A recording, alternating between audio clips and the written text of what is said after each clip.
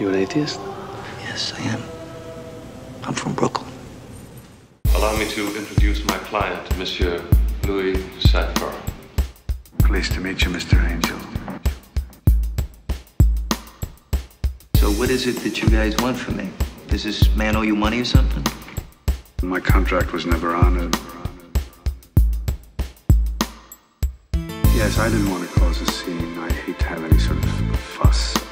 I'll instruct my lawyer immediately to send you a check for $5,000. I have old-fashioned ideas about honor. You know, an eye for an eye. If you don't want the job, I'll engage someone else. You know what they say about slugs?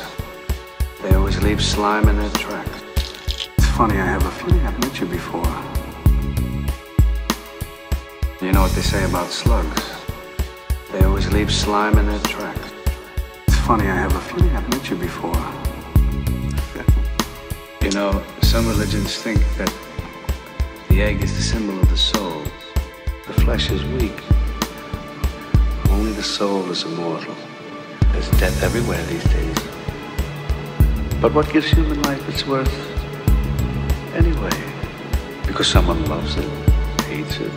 You know what they say about slugs? They always leave slime in their tracks. Funny, I have a feeling I've met you before. You know what they say about slugs? They always leave slime in their tracks.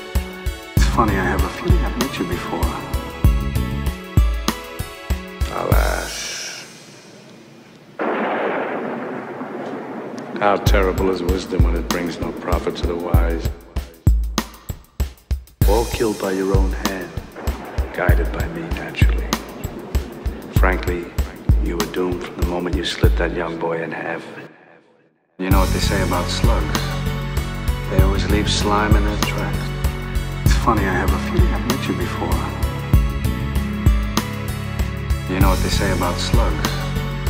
They always leave slime in their tracks. It's funny, I have a feeling I've met you before. Who is Cyphre? Lucifer. Mephistopheles. If I had cloven hooves and a pointed tail, would you be more convinced? Who is Cyphre? Lucifer. Mephistopheles. If I had cloven hooves and a pointed tail, would you be more convinced? Who is Cyphre? Lucifer. Mephistopheles. If I had cloven hooves and a pointed tail, would you be more convinced?